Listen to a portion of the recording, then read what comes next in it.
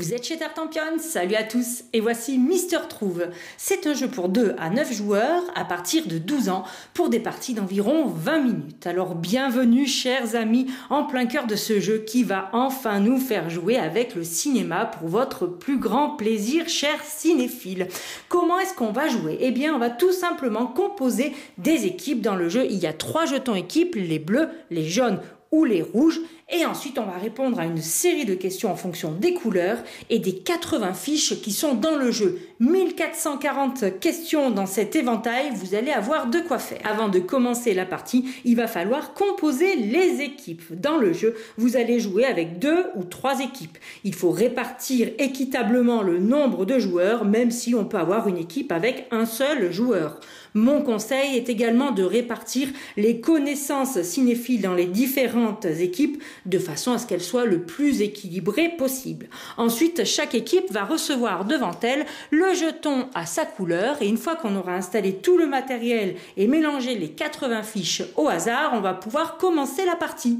Quel est le but du jeu? Eh bien, il va falloir être l'équipe qui répond le mieux possible à ces questions qui correspondent à sa couleur pendant toute la partie. En l'occurrence, on va jouer en trois manches et gagner le plus de points étoiles possible. À chaque manche, chaque équipe tirera une fiche au hasard et aura le temps du sablier, c'est-à-dire une minute, pour répondre à sa série de cinq questions.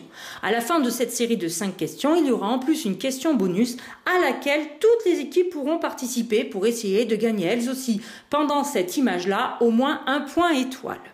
Dès qu'on aura déterminé en début de partie quelle équipe commencera, donc admettons nous on va commencer avec l'équipe jaune, et eh bien ce sera un des adversaires qui se munira de l'éventail en repérant le numéro de la fiche et en préparant les questions à lire. Donc pour l'équipe jaune, on lui posera les questions de l'équipe jaune. Donc on va lancer le sablier, retourner la fiche en temps réel et c'est parti.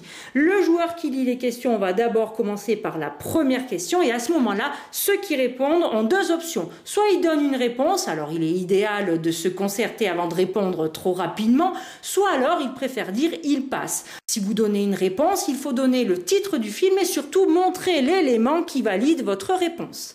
En mode normal, le titre du film suffit, mais dans le cas de grandes séries comme Star Wars, en mode expert, il faudra donner le titre exact de l'épisode. Ça corse un petit peu plus la chose. À la fin des cinq questions, eh on donnera un point étoile par bonne réponse à l'équipe qui vient de jouer. Maintenant, on va passer à la question bonus.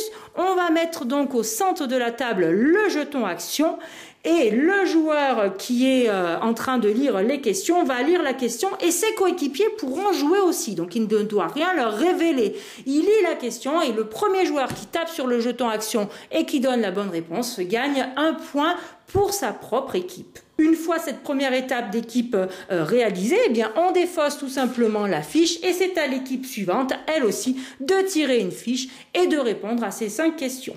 Chaque équipe fait ceci pendant la manche. On joue en trois manches et à la fin des trois manches, c'est celui qui a le plus de points étoiles qui remporte la partie. Les fiches du jeu balayent différentes générations et tout le monde y trouvera son compte. Mais attention, même si vous reconnaissez peut-être déjà facilement quelques films, il s'agira de répondre aux questions. Et les questions sont plus tenaces, elles vont vous demander certaines situations précises. Or là, les films sont mélangés et mis en scène tous ensemble.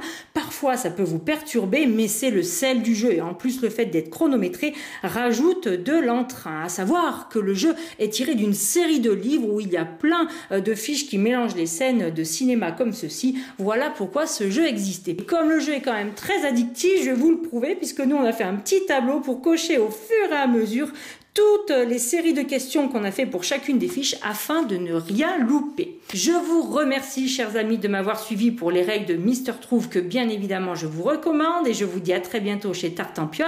Et d'ici là, n'oubliez pas, amusez-vous bien.